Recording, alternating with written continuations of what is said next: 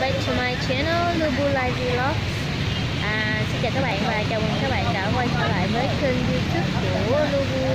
À, Và hôm nay thì uh, Lubu à, à, nói chung là có thời gian rảnh à, để mình à, có thể à, à, ra đây nói chuyện cùng với các bạn ha. Thì à,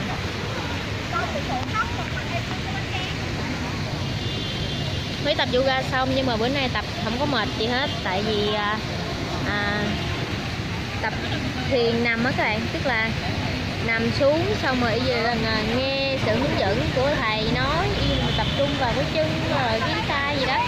Cho nên à, cũng khá là như là relaxing. Yeah. so, rất là rất là thoải mái rất là thư giãn các bạn. Thì à, thư giãn đến mức mà ngủ quên nào không hay luôn. Đó thì à, thì cho không có không có à, đổ mồ hôi nhiều không có mệt gì hết. Đó đó là như vậy ha. À, thì à, xong rồi mới có thời gian rảnh nè.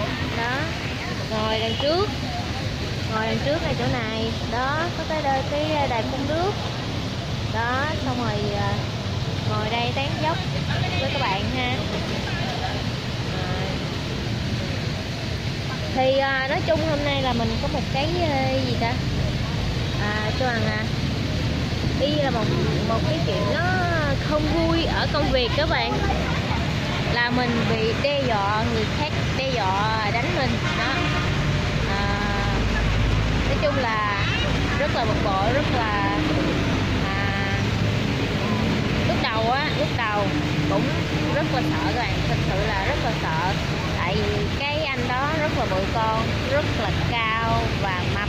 À, đó, đó là lý do về cái uh, về cái chiều cao á. Đó.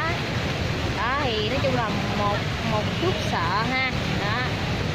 Và cái lý do tại sao mà cái anh đó mà như vậy là đòi à,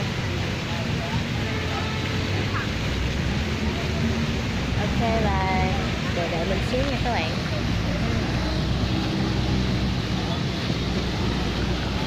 Đó và tại sao mà à, lý do tại sao mà cái anh đó mà đòi đòi đánh mình ha.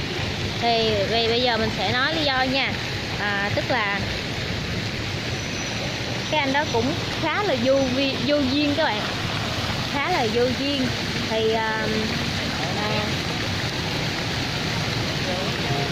bởi vì sao các bạn?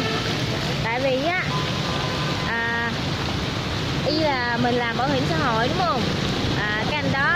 Ở công ty cũ. Xong rồi cái à, à, nghỉ chỉ nghe nghe nó nói thôi nhưng mà lý do thật sự là như thế nào mình không biết ha. À, đó là nghỉ xong rồi cái à, à, nghỉ ngang nghỉ ngang xong rồi à, công ty đó người ta sẽ không trả lương cũng như là à, giam luôn cái bảo hiểm xã hội. Đó. Và bắt đầu qua công ty của bên mình đang làm làm ở đó. Làm thì chắc cũng khoảng được à, năm sáu tháng hay gì đó rồi xong á cái người nhân sự sự cũ không biết có hỏi hay không mà cũng không biết luôn. Xong rồi cái uh, gặp mình kêu là nói như vậy đó. Rồi kêu mình là à, coi điện bên xã hội ờ, uh, dùm coi bên bảo hiểm xã hội dùm coi cái à, công ty đó đã trả sổ cho nó chưa. À, rồi à, nếu mà trả rồi thì à, để anh đó lên lấy lấy. Đó đó là vậy ha. Thì ok. Mình nói ờ ok vậy à, cho mình thông tin. Xong rồi à, à, mình sẽ hỏi nhưng mình mình không nói là khi nào mình sẽ hỏi nha. Đó tại vì rất là bận ha. Xong rồi mỗi ngày lên hỏi. Mình không có ở đó thì hỏi các bạn nhân sự tại vì công ty có hai nhân sự ha. À, mình qua xưởng mới ờ, đứng. Ô mình qua xưởng mới làm. Các bạn nó ở xưởng cũ xong rồi cái ờ, lên hỏi. Ngày nào cũng lên hỏi xong các bạn nhân sự đó nói trời ơi mày qua mày dạy nói giùm tao đi. Cứ lên hỏi hoài luôn. Đó xong rồi mình mới tức quá. Mình mới nói tại vì suy nghĩ cái đó là mình uh, tự nhiên y như là khi mà các bạn ờ, cái người mà thường xuyên cứ hỏi hỏi hỏi hỏi bạn riết luôn thì bạn các bạn cảm thấy thoải mái không? Đó là mình đã cảm thấy là nó bực bội trong người rồi nha. Xong rồi xong rồi cái uh, bắt đầu là ha à mình mới nói mày kêu ổng gặp tao đi. Để nói chuyện ha xong rồi cái à, à, à, xong rồi bắt đầu cái mình đi qua cái xưởng cũ rồi cái anh đó mới à, à, à, mới tới bắt đầu là hỏi mình. Cái mình nói là ủa sao anh à, cứ hỏi hỏi hỏi hoài vậy? Và bây giờ em nói với anh một nói với anh vậy ha anh á đừng có đi kiếm em nữa em hỏi xong, em sẽ tự biết đi kiếm anh. Chứ anh đừng có mỗi ngày hỏi đi kiếm em.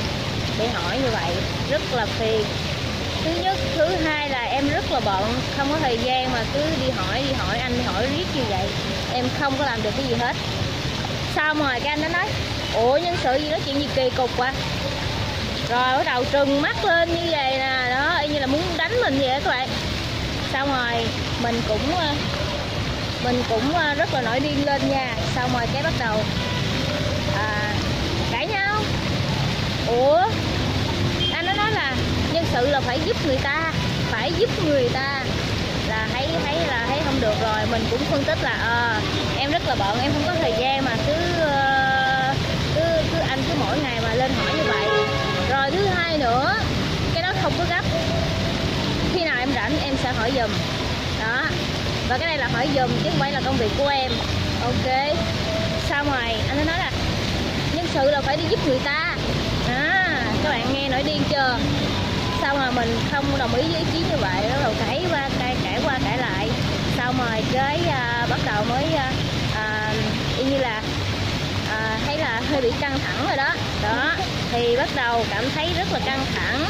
Sau đó là ok à, mình không nói gì hết à, và mình nói là nếu mà anh cần gấp như vậy đó thì anh hãy à, à y như là em cho số điện thoại của anh à, em, em cho số điện thoại bên bảo hiểm xã hội rồi anh tự điện anh hỏi nha chứ à, anh cứ hỏi như vậy hoài thì em thấy không chấp nhận được. Rồi ok. Sau ngoài cái bữa đó cái tiếp vào bữa sau buổi chiều hôm sau đứng ngoài cổng đợi. Không biết là đợi hay hay là hay là do như là uh, trùng hợp mà đi ra gặp đi ra ngoài cổng bảo vệ đi về bấm chân tay các bạn. Xong rồi bắt đầu tới chỗ đó. Cái đầu anh ấy nói là ủa sao cho khi điện thoại mà điện không không được? Cái mình nói ủa điện không được thì thôi. Đó cái đầu chửi lên. Rồi à, bắt đầu xong rồi đi ra ngoài cái à, à cái cổng cái cổng bảo vệ rồi bắt đầu đứng đó à, đứng đó xong rồi chửi chửi chửi chửi chửi quá chừng luôn. À, gì đủ má đủ mẹ gì tán loạn xì ngầu hết. À, mày ra đường tao ra tao quýnh mày. Đó nói vậy luôn ha. Rồi.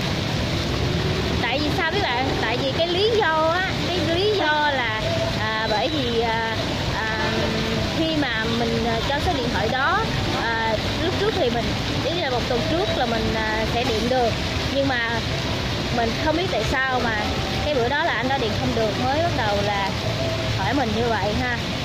Nhưng mà mình cũng rất ờ, cảm thấy rất là bực bội ha các bạn. Đó. cứ hay làm phiền người ta như vậy á. Đó thì ờ, chính vì vậy mà như, như là xảy ra cái mâu thuẫn ha. Đó. Rồi mình tạm thời uh, kết thúc cái video ở đây nha. Thì uh, mình sẽ làm tiếp những cái video sau. Thì uh, các bạn nhớ subscribe như là chia sẻ cái video của mình nha. Ok see you later.